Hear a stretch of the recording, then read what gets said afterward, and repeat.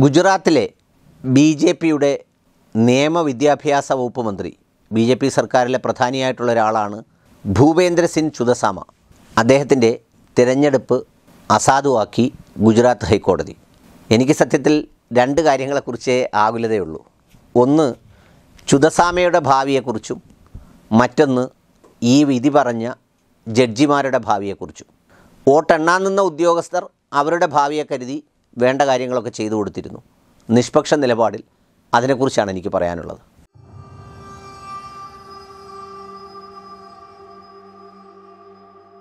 ഭൂപേന്ദ്ര സിംഗ് ചുദസാമ അദ്ദേഹം ഗുജറാത്തിലെ നിയമ വിദ്യാഭ്യാസ വകുപ്പ് മന്ത്രിയാണ്. അദ്ദേഹത്തിന് കൊടുക്കേണ്ടത് നിയമവകുപ്പ് തന്നെയാണെന്നുള്ള കാര്യത്തിൽ യാതൊരു തർക്കവുമില്ല. കാരണം അദ്ദേഹത്തിന്റെ ഈ ഇലക്ഷൻ പെറ്റീഷൻ പരി പരിശോധിച്ച സുപ്രീം കോടതി ഈ മനുഷ്യൻ ജനപ്രതിനിധിയാകാൻ വേണ്ടി ചെയ്ത നിയമപരമായ കാര്യങ്ങളെല്ലാം ബോധ്യപ്പെട്ടതോടുകൂടി ഇത് മുൻകൂട്ടി കണ്ടുകൊണ്ടാണ് ഗുജറാത്ത് ബി ജെ പി ഘടകം അദ്ദേഹത്തെ നിയമവിദ്യാഭ്യാസ വകുപ്പ് മന്ത്രിയാക്കിയത്. അതിന് രണ്ടിനും സർവതാ യോഗ്യനാണ് അദ്ദേഹം. അദ്ദേഹത്തിന്റെ തിരഞ്ഞെടുപ്പ് പ്രക്രിയയുമായി ബന്ധപ്പെട്ട വോട്ടെണ്ണലും അതുമായി ബന്ധപ്പെട്ട കാര്യങ്ങളുമാണ് പ്രധാനമായും പുറത്തു വന്നിരിക്കുന്നത്. കഴിഞ്ഞ തവണത്തെ ഗുജറാത്ത് തിരഞ്ഞെടുപ്പ് വളരെ വീറുറ്റ ഒരു പോരാട്ടമായിരുന്നു. അതിനു മുൻപ് ഏകപക്ഷീയമായി ബി ജെ പി വിജയിച്ചിരുന്നുവെങ്കിൽ കഴിഞ്ഞ തെരഞ്ഞെടുപ്പിൽ അങ്ങനെ ആയിരുന്നില്ല. ഒരു നല്ല മത്സരത്തിന്റെ പ്രതീതി ഉണ്ടായിരുന്നു. ഗുജറാത്തിലെ പല മണ്ഡലങ്ങളിലും വളരെ തുച്ഛമായ വോട്ടുകൾക്കാണ് കോൺഗ്രസ് സ്ഥാനാർത്ഥി പരാജയപ്പെടുകയും ബി ജെ പി വിജയിക്കുകയും ഒക്കെ ചെയ്തത്. അവിടെ നമ്മുടെ ഈ പറഞ്ഞ ഒവൈസി അടക്കമുള്ള പിന്നെ അതുപോലെ ഈ പിന്നോക്ക വിഭാഗത്തിന്റെ പ്രധാനപ്പെട്ട മിഷിഹാമാരായിട്ടുള്ളവരെല്ലാം വേണ്ടത്ര സേവനങ്ങൾ കൂടി അക്കാര്യത്തിൽ സംഭാവന ചെയ്തു എന്നുള്ളത് നമ്മൾ എന്താ ഒഴിവാക്കി ചിന്തിക്കേണ്ടതേ അല്ല. ഏതായാലും അങ്ങനെ ജയിച്ച കൂട്ടത്തിൽ ജയിച്ചൊരു മണ്ഡലമാണ് ചുതസാമയുടേത്. എതിർ സ്ഥാനാർത്ഥി അശ്വിൻ റാത്തോഡ് എന്ന കോൺഗ്രസ്സുകാരനാണ്. അദ്ദേഹമാണ് കോടതിയെ സമീപിച്ചത്. ഈ കോടതി ഈ രേഖകളെല്ലാം പരിശോധിച്ചു.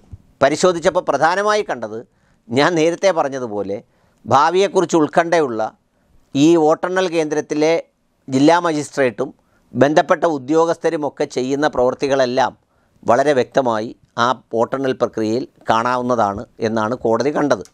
അതിലേറ്റവും പ്രധാനപ്പെട്ട കാര്യം എളുപ്പമുള്ള കാര്യമാണ് എതിർ സ്ഥാനാർത്ഥിക്ക് കിട്ടിയ കുറേ വോട്ടുകൾ എണ്ണിയില്ല.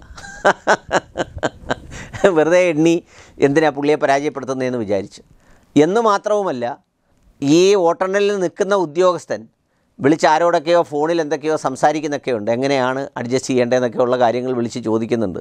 അങ്ങനെ എന്തായാലും കൂട്ടിക്കിഴിച്ച് ഹരിച്ച് ഗുണിച്ച് എഴുതി തകർത്ത് ഇദ്ദേഹത്തിനെ മുന്നൂറ്റി ഇരുപത്തേഴ് വോട്ടിന് അങ്ങ് വിജയിപ്പിച്ചു. വിജയിപ്പിച്ചില്ലെങ്കിൽ ഈ ജില്ലാ മജിസ്ട്രേറ്റിന്റെയും അല്ലെങ്കിൽ അതുമായി ബന്ധപ്പെട്ട ആളുകളുടെയും ഭാവി അപകടത്തിലാണ്. അത് നമ്മൾ കാണാതിരിക്കാൻ ഒക്കില്ല. നമ്മളിത് പറയുമ്പോൾ അയാൾക്കും ഭാര്യയും മക്കളും കുടുംബമൊക്കെ ഉണ്ടെന്നുള്ള കാര്യം മറന്നു പോരുത് എന്തായാലും എഴുതി അങ്ങ് ജയിപ്പിച്ചു. ആ ജയിപ്പിച്ച കേസാണ് കോടതിയിൽ വന്നത്. ഈ അശ്വിൻ റാത്തോഡ് എന്ന് പറയുന്ന ആളും അയാളുടെ ഭാവിയെക്കുറിച്ച് വലിയ ഉത്കണ്ഠയില്ലാത്ത ആളായതുകൊണ്ടാകണം ഒരുപക്ഷേ കേസിന് പോയത്. കാരണം ഇല്ലെങ്കിൽ ചിലപ്പോൾ പൊടി പോലും അവിടെ അദ്ദേഹത്തിന്റെ ഉണ്ടാവില്ലായിരുന്നു.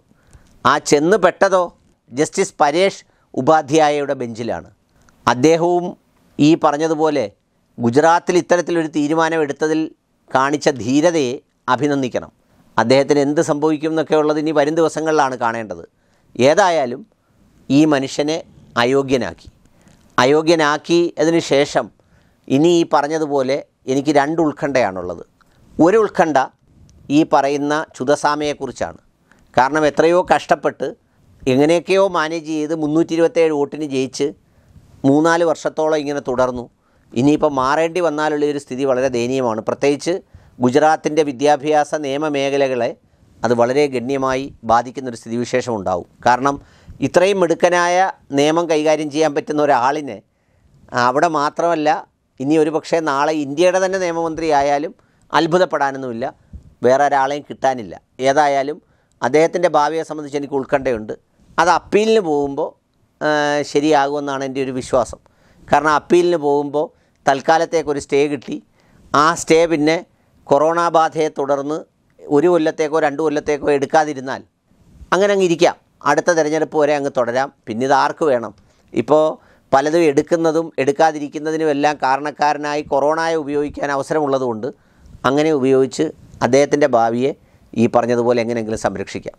പിന്നെ രണ്ടാളിന്റെ ഭാവി മുഖ്യമാണ്. ഒന്ന് ഈ അശ്വിൻ റാത്തോഡിന്റെ ഭാവി. അതൊരുപക്ഷേ പുള്ളിയുടെ ഭാര്യയും മക്കളും ഒക്കെ പ്രാർത്ഥിച്ച് നിലനിർത്തി പോട്ടെ എന്ന് വിചാരിക്കാം. മൂന്നാമത്തെ ഭാവിയുടെ പ്രശ്നം നമ്മുടെ ജഡ്ജിയുടെ ഭാവിയാണ്. അദ്ദേഹത്തിന്റെ ഭാവിയെ സംബന്ധിച്ച് എനിക്കൊന്നും തൽക്കാലം പറയാൻ പറ്റുന്നില്ല. ഇനി അദ്ദേഹത്തെ വേറെ സംസ്ഥാനങ്ങളിലേക്ക് സ്ഥലം മാറ്റുവോ അതോ അദ്ദേഹത്തിന്റെ ജീവൻ നഷ്ടപ്പെടുവോ? ഏതായാലും ഈ പറഞ്ഞതുപോലെ വലിയ ആവേശമൊന്നും തോന്നേണ്ടതില്ല. കാരണം പണ്ട് ഡൽഹി ഹൈക്കോടതിയിലെ ഒരു ജസ്റ്റിസ് മുരളീധർ ഒരു കേസുമായി ബന്ധപ്പെട്ട് പിന്നെ ഒരു വിധി ഒരു തീരുമാനമെടുക്കുകയും കപിൽ മിശ്രയെ പോലുള്ളവർക്കെതിരെ നിങ്ങൾ വർഗീയ പരാമർശത്തിന് കേസെടുക്കാൻ പറയുകയും ഒക്കെ ചെയ്ത അന്ന് ഞാൻ വൈകുന്നേരം ഒരുപാട് ആവേശം കൊണ്ടതാണ്. ആവേശം കൊണ്ടു കഴിഞ്ഞ് പിന്നെ ഒന്നര ദിവസം കഴിഞ്ഞപ്പോഴത്തേക്ക് അത് ആസ്മായി മാറുന്ന ഒരു സ്ഥിതി ഉണ്ടായി. എന്താണെന്ന് വെച്ചാൽ ആ വിധി പറഞ്ഞ ജഡ്ജിയെ സന്തോഷപൂർവം ബഹുമാനാദരപൂർവം യാത്രയാക്കുന്നതാണ് കണ്ടത്. അതുകൊണ്ട് ഇപ്പോൾ ഇത്തരത്തിലുള്ള വിധികളൊക്കെ കാണുമ്പോൾ രോമാഞ്ചമൊന്നും തോന്നാറില്ല. പിന്നെ ഈ പറഞ്ഞതുപോലെ വിധി കാണുമ്പോൾ ഇതുപോലെ ഈ വിധിക്കപ്പെടുന്നവരുടെയും ഇരയാക്കപ്പെടുന്നവരുടെയും പ്രതിയാക്കപ്പെടുന്നവരുടെയൊക്കെ ഭാവിയെക്കുറിച്ച് ചില ഉത്കണ്ഠകൾ ഉള്ളതുകൊണ്ട് ആ ഉത്കണ്ഠകൾ പ്രിയപ്പെട്ട പ്രേക്ഷകരുമായി പങ്കുവച്ചെന്ന് മാത്രമേ ഉള്ളൂ. ഈ പറഞ്ഞതുപോലെ ചുതസാമിക്ക് ഒരു പോറലും ഏൽക്കാതെ അദ്ദേഹം രണ്ട് വർഷമല്ല ഒരു പത്ത് വർഷമെങ്കിലും നിയമകാര്യ വകുപ്പ് കൈകാര്യം ചെയ്ത് സന്തോഷവാനായി ജീവിക്കട്ടെ എന്ന് ആത്മാർത്ഥമായി പ്രാർത്ഥിക്കുന്നു.